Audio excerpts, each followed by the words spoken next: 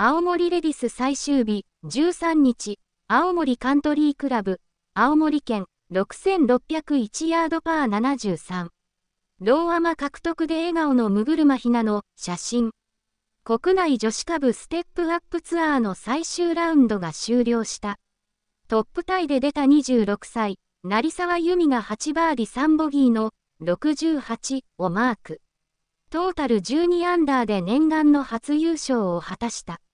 トータル9アンダー、2位に後半で7つ伸ばしたアマチュアのムグルマヒナの。トータル8アンダー、3位に石川飛鳥、トータル7アンダー、4位には照山あすみが入った。ステップ賞金ランキング1位の長島カノンはトータル5アンダー、8位タイ。2週連続優勝を狙った石川玲奈はトータル4アンダー、13位タイで3日間を終えた。